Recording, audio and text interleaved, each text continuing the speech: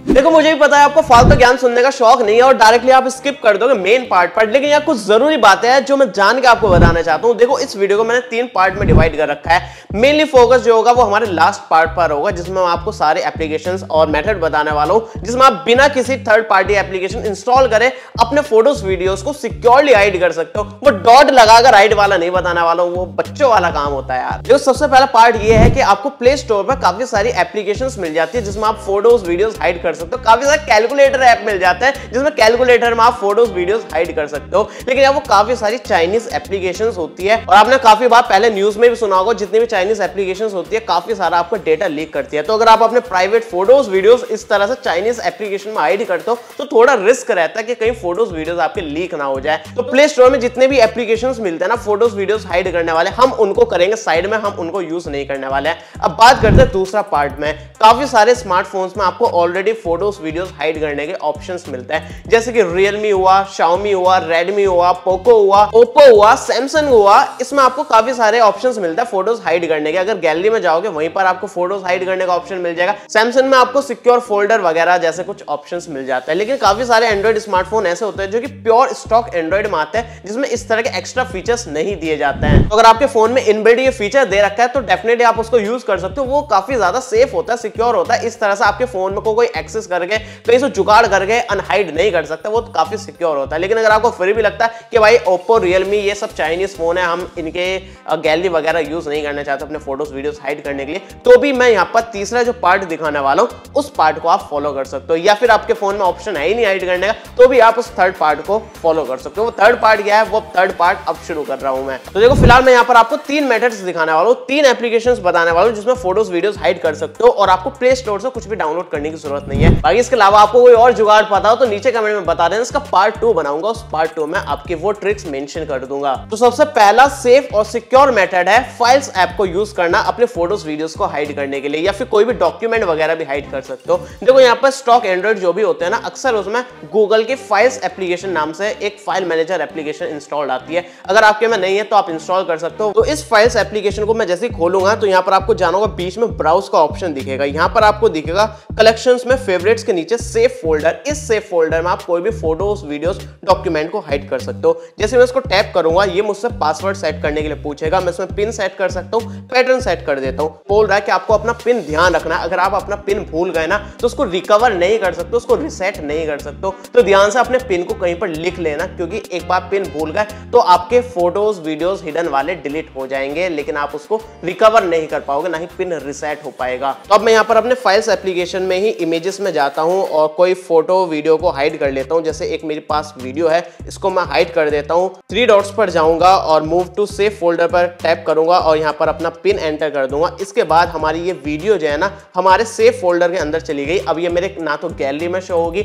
ना ही file manager में कहीं भी शो नहीं होगी। और अब मुझे हिडन फ़ोटोज़ वीडियोस देखना है तो यहाँ पर जाऊँगा वापस सेफ़ फोल्डर पर और यहाँ पर अपना पिन एंटर करूँगा। इसके बाद मेरे सारे हिडन फ़ोटोज़ वीडियो शो हो जाएँगे। और यहाँ पर जैसे मैं ओपन करके दिखा रहा हूँ, यहाँ पर आपको ब्लैक स्क्रीन दिख रही होगी। इसका मतलब अगर किसी ने सेफ़ फोल्डर खोल लिया है तो यहाँ से कोई भी ना तो स्क्रीन ले सकता है, ना ही इसकी स्क्रीन रिकॉर्डिंग कर सकता है, ना ही इसको शेयर कर सकता है कहीं भी। और यहाँ पर आपको सेफ़ फोल्डर को भी हाइड करने का ऑप्शन मिलता है। मतलब किसी ने फाइल्स एप्लीकेशन खोल दी, उसके सामने दिखेगा सेफ़ फोल्डर उसके दिमाग में आ जाएगा कि भाई, इसमें कुछ हिडन है। लेकिन अगर आपको वो ऑप्शन ही नहीं दिखाना, यहाँ पर थ्री डॉट पर जाना हाइड सेफ़ फोल्डर पर टैप करना। इसके बाद यहाँ पर कोई सेफ़ फोल्डर का ऑप्शन ही नहीं दिखेगा। वापस से अगर आपको खुद से एक्सेस करना है तो थ्री डॉट पर जाना। शो सेफ़ फोल्डर पर टैप करना। इसके बाद आपका सेफ़ फोल्डर दिख जाएगा। बाकी सेफ़ फोल्डर में काफ़ी सारी और भी सेटिंग्स मिल जाती है। यहाँ पर मैं थ्री लाइन्स पर जाऊँगा। सेटिंग्स में जाऊँगा। यहाँ पर मुझे जाना होगा सेफ़ फोल्डर पर। यहाँ पर आप अपने लॉक का पासवर्ड चेंज कर सकते हो।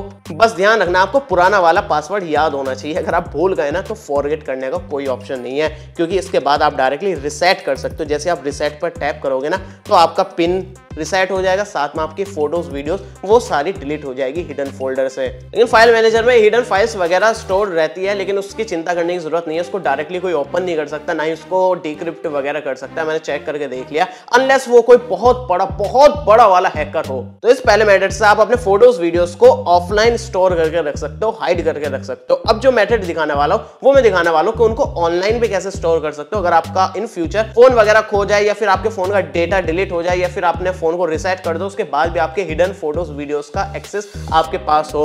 इसके लिए हम यूज़ करने वाले गूगल फ़ोटोज़ का। गूगल फ़ोटोज़ अक्सर एंड्रॉइड फ़ोन में इंस्टॉल्ड रहता है। अगर आपके फ़ोन में नहीं है तो आप इंस्टॉल कर सकते हो प्ले स्टोर पर। जैसे आप इसको खोलेंगे, यहाँ पर जाना लाइब्रेरीज में यूटिलिटीज में जाना, और सबसे नीचे जाओगे ना, यहाँ पर दिखेगा लॉग्ड फोल्डर अब देखो गूगल फाइल्स का एक फ़ायदा था कि आप उसमें ऑफलाइन सेव करके रख सकते हो, लेकिन गूगल फ़ोटोज़ में आपको फ़ायदा मिलता है कि आप इसको ऑनलाइन भी सेव कर सकते हो। मैं जैसे लॉक्ड फोल्डर पर जाऊँगा, ये मुझसे मेरा फ़ोन का पैटर्न या फिर पासवर्ड या फिर फिंगरप्रिंट सेंसर के लिए पूछेगा। मतलब ये जो है अनलॉक होगा आपके फ़ोन की स्क्रीन से। ये सबसे बड़ा इसमें कैच है।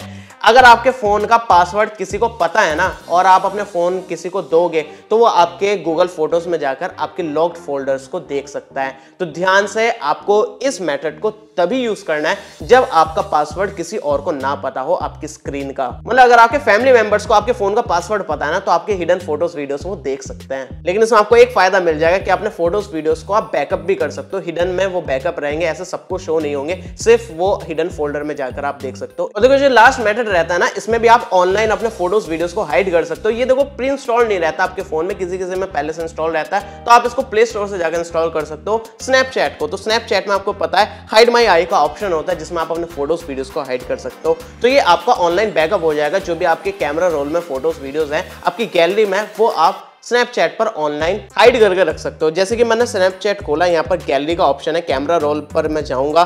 तो जितने भी मेरे कैमरे रोल में फ़ोटोज़ वीडियोस वगैरह है तो मैं उनको हाइड कर सकता हूँ। जैसे मैंने इसको प्रेस करा और दो फ़ोटो सेलेक्ट कर दिया और मैंने हाइड पर टैप करा तो इसके बाद माई आई ऑनली पर मैं इसको मूव कर दूँगा। और जब भी मुझे अपने हिडन फ़ोटोज़ वगैरह देखने होंगे, मैं माई आई ऑनली पर जाऊँगा और यहाँ पर अपना पिन एंटर कर दूँगा। इसके बाद जो भी मैंने फ़ोटोज़ वीडियोस हाइड करे थे, वो यहाँ पर आ चुके हैं। अब मैं किसी भी अपने फ़ोन में अपने स्नैपचैट को लॉग इन करके अपने माई आई ऑनली पर जाकर अपने हिडन फ़ोटोज़ वीडियोस को भी देख सकता हूँ। तो ये तीनों मेथड काफ़ी सिक्योर है और मेरी तरफ़ से हाईली रिकमेंडेड है। अगर आप अपने पर्सनल फ़ोटोज़ वीडियोस वगैरह हाइड करना चाहते हो तो। बाकी इसके अलावा आपको कोई और बढ़िया सा मेथड दिखता है ना तो नीचे कमेंट में बता देना, उसको हम अपने पार्ट टू में इंक्लूड कर देंगे। ऐसी और इंटरेस्टिंग वीडियो देखने के लिए चैनल सब्सक्राइब कर लेना। मिलता है अगली वीडियो में, तब तक के लिए अगर आपके अगर आपके